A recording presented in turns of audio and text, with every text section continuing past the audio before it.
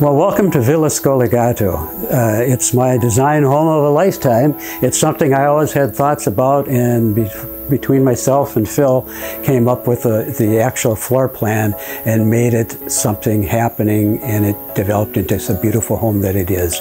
Scollegato is Italian for disconnected. Uh, so when you come into the villa, you just disconnect your phone and you disconnect it. So scollegato, it's it's the quiet and peacefulness of the environment, the beauty of the of the lot and the river, the scenery, the birds. It's an actual, truly a treehouse with the birds and the river flowing beneath it, with the fish jumping and uh, iguanas running. It's a very natural process here. Uh, the home was designed uh, to be utilized all in one level living so that I have it up for the breezes. It, it, sits directly in north northeasterly pattern of the wind so that we always have natural flow. The flow is through the opening and closing of windows and the feature is the cupola uh, atop which actually draws the hot air out of the home up and through and out. Uh, it's been working wonderfully. No air conditioning has been needed so far. That and fans, of course. Uh, with one level living, I, in an upper level, I've designed it also to have the capability of an installation of an elevator, a lift, very simple, just a matter of removing tile and placing it in so that one can come into the garage with a car, walk through. Um, if a wheelchair or handicap, uh, you just can access the, the uh, lift and come on up and have one level living. Uh, if not, it's one second level. You get a lot of good stairmaster work up and down the stairs. But uh, designed specifically with all the craftsmanship and the quality of the woods from Belize. Everything is done. The cabinetry, the woodwork is all Belizean woods and beautiful. Uh, with the flow and the pattern that it's designed, it actually has the, the porches that go all around so that you have a complete access to the outside as well. And the screened in area where we're sitting in now is also a beautiful spot to be uh, for uh, evenings and nighttime.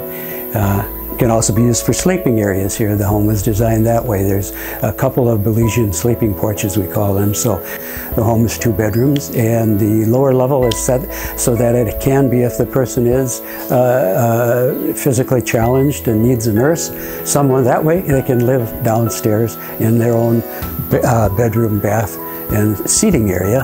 Um, it can be utilized many different purposes that way. Here we have the example of all the beautiful woods that we use throughout the home. All the cabinetry in the kitchen was handmade and designed by a local young man, young carpenter man. Gave him a job and he's done a beautiful job with it.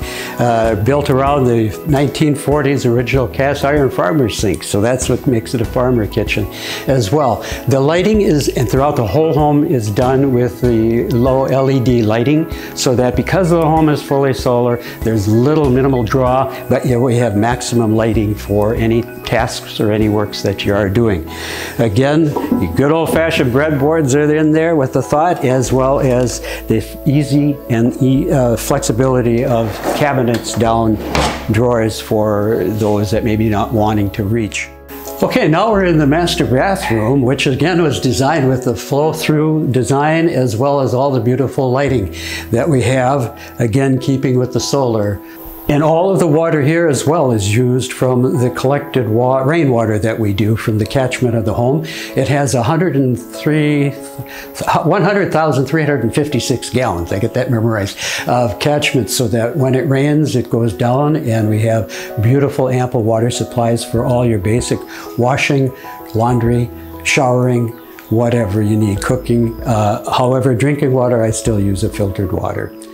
It overlooks the beautiful Carmelita Gardens, all of the balconies. There's some view of the river, almost 360 degrees of the river uh, from whichever angle you're looking at or whichever porch you may be on.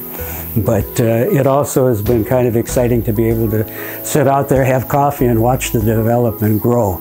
Remembering here as one of the first uh, uh, builders here of the openness, but yet now it's still maintained open, but there's a lot more homes around, which is a good thing, and it's fun watching it being built that way. But yet you still have the openness of, of the, the countryside and the gardens. Well, hopefully you've gotten a good understanding of the beauty of this home as a, as a home versus a house. Uh, the style, the architecture, the craftsmanship, the quality that I've enjoyed living here as we've developed Carmelita Gardens. I'm looking forward to the next generation of people coming into the home and being able to enjoy the beauty of it as well. Concrete construction, stucco construction, she's going to be here for a long time.